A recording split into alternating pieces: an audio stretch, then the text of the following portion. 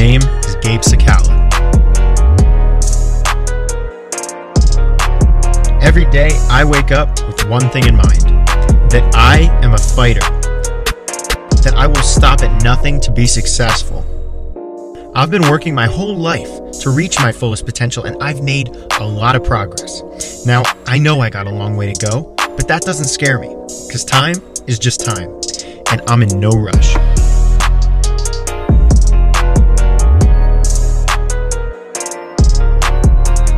Vision to be remarkable, to be remembered because I was relentless and stopped at nothing to get to the top.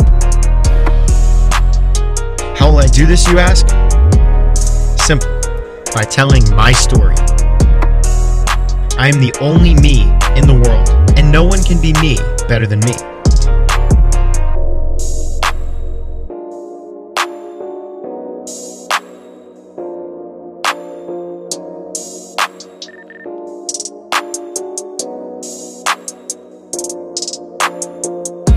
My name is Gabe Cicala, and I have a story to tell.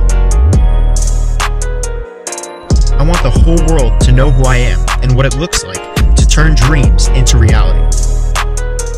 To make the impossible possible and change the world. You see, we all got a story to tell. The best way to do it is by being yourself and never stop believing in who you are.